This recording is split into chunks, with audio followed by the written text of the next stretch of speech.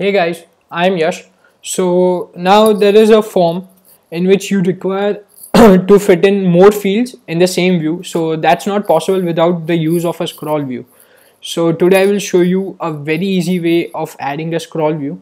So let's get started. Create a new Xcode project, single view application, name it scroll view or whatever you wish. Do check the settings. Next, save it wherever you want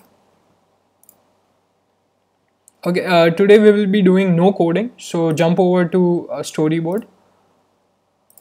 Okay so inside story, uh, storyboard we will first add in scroll view. Let's give it a background color of gray or something. Gray. Add some constraints.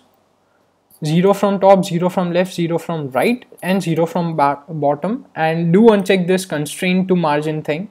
Okay update frames items of new constraints. So this will adapt to the new constraints add four constraints. So here is our scroll view. Now we will add a view normal view. It will always be second last option. So okay uh, again let's set a background color of light green. Add some constraints uh, 0 from top 0 from left 0 from right and 0 from bottom. Again uncheck this constraints to margin thing. Uh, now we will give it a height of whatever you want. Uh, I will take um, 1200 okay? And don't uh, select items of new constraints here okay? Just add five constraints. Now uh, from this view control drag to the main view and select equal widths okay? Now this will give you all yellow lines.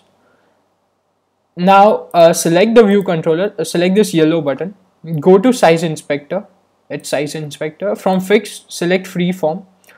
Now uh, I give height of 1200 okay.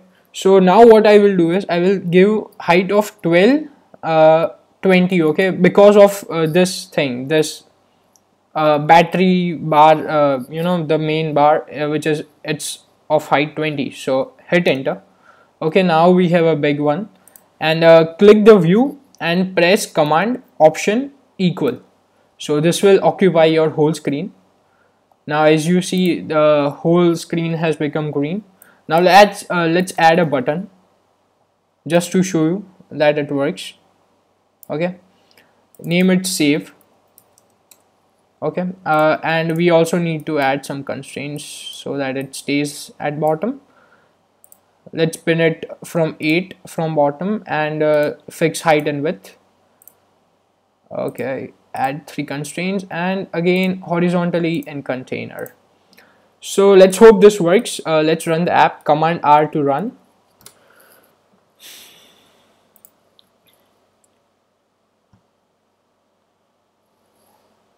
So this is a very simple way of adding a scroll view.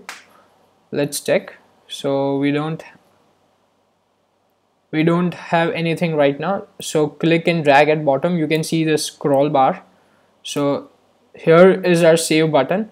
And uh, now when you pull this up you can see that gray area which is our scroll view okay? So you can see that even on the top this is the animation which is provided by apple while using the scroll view. So it's cool right? So thank you guys. Keep watching